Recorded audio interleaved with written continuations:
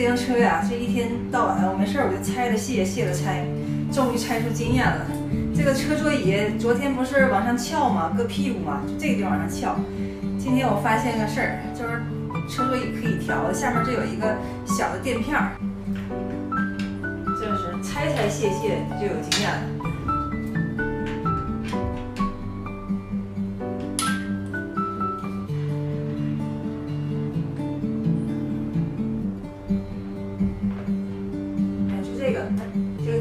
可以活动的，找一个自己觉得舒服的角度，就给它固定了。往前一弄，它就往上。所以这垫片儿啊，放到中间这位置差不多，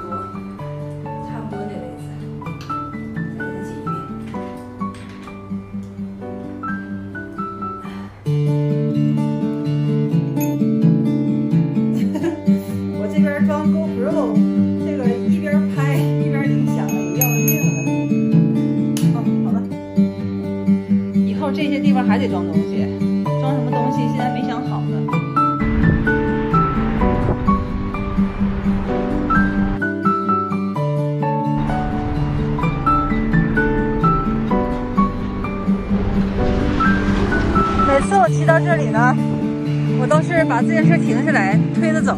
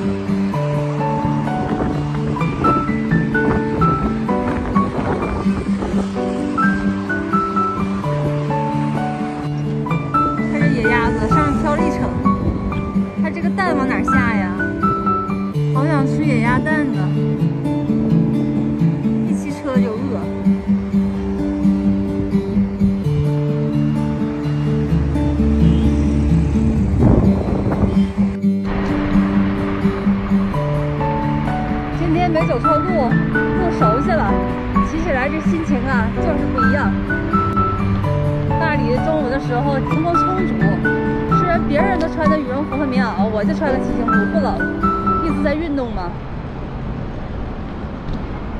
这阳光晒在身上，暖暖的，有点困了。哎，看这小橘子，金灿灿。十块三斤，十块三斤，十块三斤。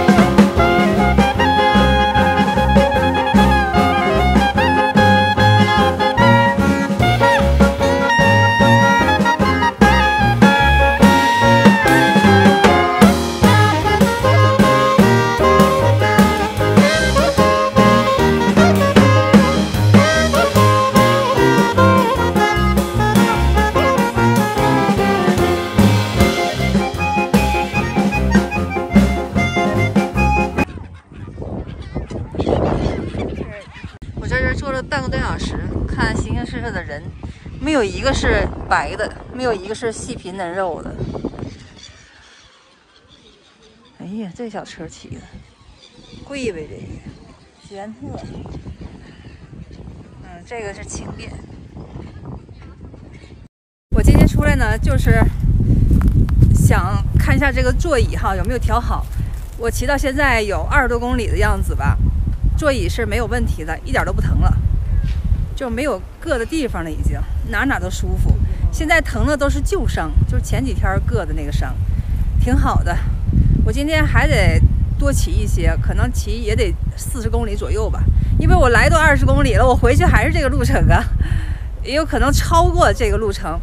呃，虽然这个公里数看起来很远，但是呢。这个路很好走，并不累人，全是平坦的路，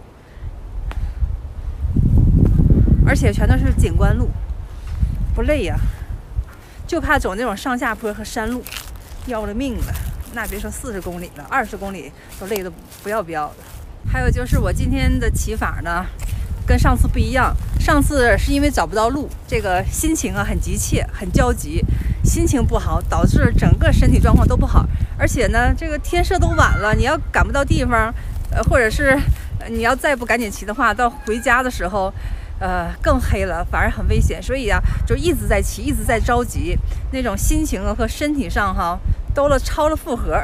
今天不一样，今天熟门熟路，再加上走走停停，还看看景色了，哎，还自己享受一会儿了，躺一会儿了，一点都不累呀。都没怎么出汗，不冷不热，太舒服。